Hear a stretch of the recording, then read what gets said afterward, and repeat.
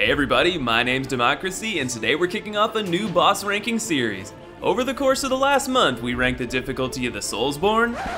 I really hate the term Soulsborne. Oh, okay, well then let's just call it the Soul series. It says top 10 hardest bosses in the Souls series. Bloodborne doesn't have any related story from Dark Souls series. You fucked up now, didn't ya? Well, I knew there was gonna be a little resist. For the last fucking time, you autistic child, Bloodborne is not a fucking Souls game. Uh, why would you use Bloodborne, you idiot? It's not part of the Souls series in any way. Okay, okay, I hear you. I had no idea this would get people so riled up. So I've got a solution everybody can agree on. We're gonna call it Darkborn. You heard it here first. Next list is top 10 reasons why I love the word Darkborn. So for the Soul series, including Bloodborne, we've ranked the difficulty of 139 bosses. You all have given me a ton of great ideas for future lists, but before we get to those, I want to put our boss list to rest with the ranking of all 139 from worst to best. The criteria is going to be as follows. Difficulty, 10 points. This factor is not based on measurable difficulty like in our boss rankings. Instead, this is a rating on how balanced the challenge feels in the context of the fight. For example, while the Nameless King fight is extremely challenging, it never felt to me like it was unfair, and the difficulty matched the reputation of a powerful god. A boss like the Royal Rat Authority, on the other hand, fuck those rats. Lore, 20 points. I'm sure counting lore as part of a boss fight will be debated by some, but it's something that's really important to me. The most engaging thing about these games next to their difficulty is the atmosphere they're able to achieve. Most of this is thanks to the deep and intricate stories FromSoft weaves, and I believe a good backstory can give great context to a fight. Design, 30 points. What is a boss without good design? FromSoft is known for developing some of the best boss fights in gaming, but that doesn't mean there aren't some blemishes. And when deciding on the quality of a boss, the actual mechanics are undoubtedly one of the most important factors. Entertainment value, 40 points.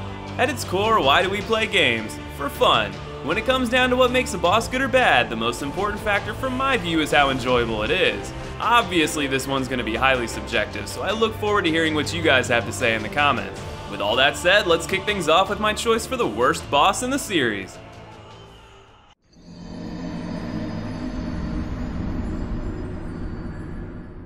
When talking about fair difficulty, there is no boss in the entire series that has a worse understanding of the concept. I think most of us can agree that this is the uncontested worst boss in the series. That's because this boss is a straight up crapshoot. Sure, the floors fall out in the same place and there's a set path to victory. The problem is this overgrown weed loves to sweep you right in those holes. Then once you break the second, whatever the hell this is, you get assaulted by firestorms as well. So the difficulty is bad, the design is clearly bad. In fact, it's so bad I've heard the developers actually apologize for this abomination. Though I couldn't find a source for this, so unless one of you posted in the comments, I'd take that with a grain of salt. And speaking of salt, that's a good way to sum up my opinion on this boss in one word. I'm salty that the bed of chaos always jams me in its holes. I'm salty that I have to run for days to get back only to get jammed in some more. I'm salty the boss design focuses on platforming in a game heralded for its melee combat. And I'm salty that the Witch of Izalith battle was reduced to this mess. That's the real shame. The Witch of Izalith was one of the lords. She acted in haste to preserve the Age of Fire by using her own pyromancy to recreate the first flame. This grave mistake resulted in the Chaos Flame that eventually consumed her and became the source of the demons of Lordran. That means bosses like the Asylum Demons, Taurus Demon, and Capra Demon all have links to this vital character. And they reduced that fight to this bullshit!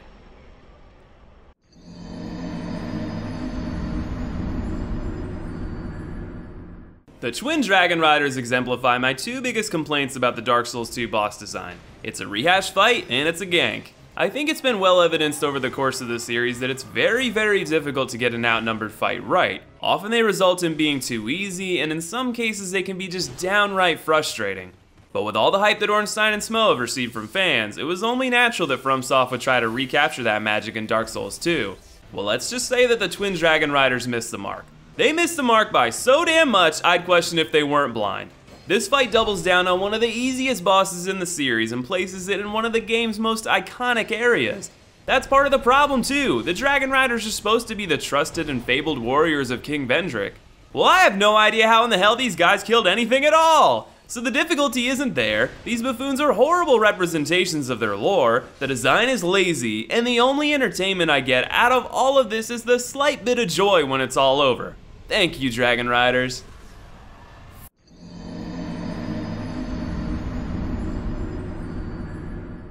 But as if this list just wanted to quickly outdo itself, we've got a boss that is a rehash and a gank that offers 5 times the trouble. You may ask yourself, how on earth is this fight possibly any better than the Dragon Riders? It's basically the same thing you just discussed, except it's more of them. Well, the bottom of this list was really hard to divide. I had to focus on the tiniest of details to set them apart. And for all this fight does wrong, like give a crappy reskin from Dark Souls and outnumber the player to simulate difficulty instead of creating interesting and complex mechanics, it does one thing right.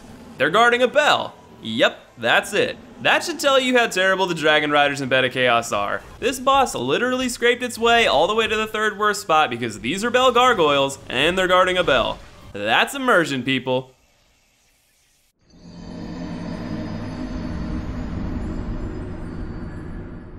Over the course of two separate lists, I've talked a decent bit about how much I hate the Loran Dark Beast. To sum it all up, this fight boils down to a DPS test. If you got the damage to knock down the beast, this will be a breeze. But if you don't, you're gonna be battling the true enemy of this fight, the camera. I'm all for fast and aggressive bosses. In fact, as you'll eventually see, I tend to favor bosses with that type of design, but this is a case where I think things were just taken a few steps too far. The real disappointment here is that I think there actually is a good boss underneath these issues. If there was some way to slow down the boss enough that would allow the player to keep track of it and then maybe give it an attack to keep players from hiding under it, I think the fight might actually be a lot better. But as it stands, this fight is a DPS race that requires you to relentlessly sprint to the boss's underside while struggling to control the camera. That's not fun or well designed.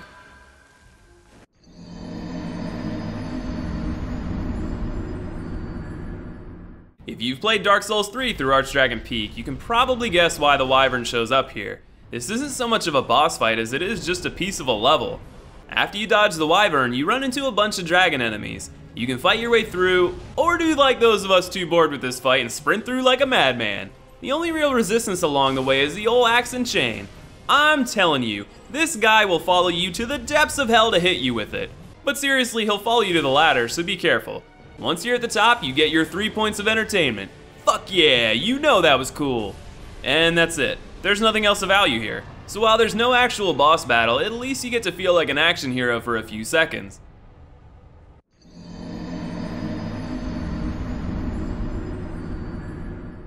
Okay, if I were to determine who the worst bosses in the series were based on salt levels alone, Wolnir is definitely my number two behind you know who. This is because that mother Let's try that again.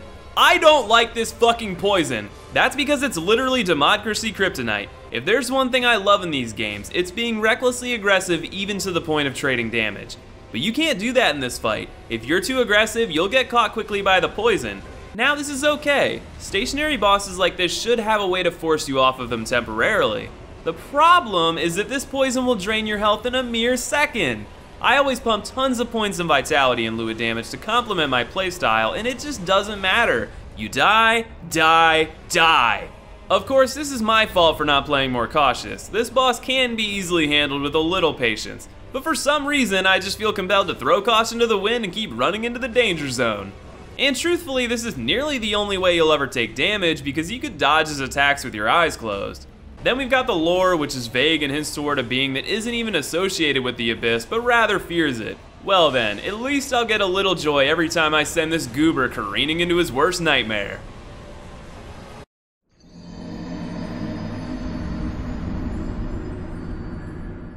Back to Dark Souls 2, and we're back with another reskin. I'll go ahead and give a spoiler that the original Smelter Demon is way higher on this list. There's a lot to love about that fight from my perspective. In contrast, this fight offers almost nothing of value.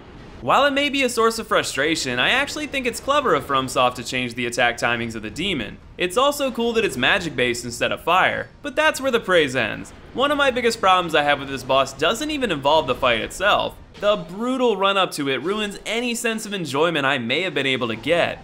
And then there's the fact it's just hard to reward the idea of sticking two of the same bosses in the game with only minor differentiation. It's DLC too, which means people paid extra for that. Shameful, but I can at least commend the minor differences in the fight.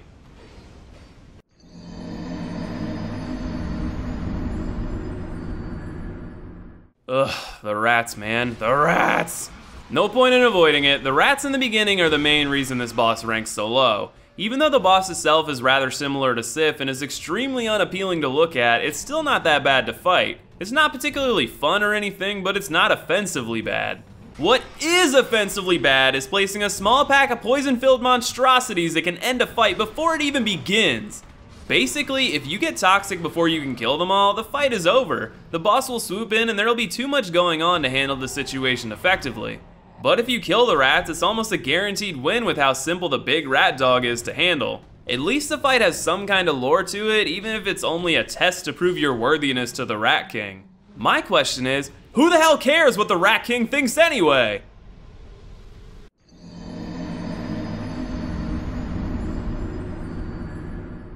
I honestly cannot believe I forgot to list this fight in my recent listception on the top 5 most boring bosses in Souls. This should have been number 1. You remember Ballista Simulator 2009? Yeah, well this is Shoot 150 Arrow Simulator 2009. And it's not just shoot, you have to time it exactly right to hit the damn thing. And it takes about 12 seconds for it to go through its full animation and come back. 150 times 12 is 1800 seconds. That's a whole half hour! The only credit that I can give to it is that it does add a pretty neat environmental hazard, but the fight itself is the biggest snooze fest in the entire series.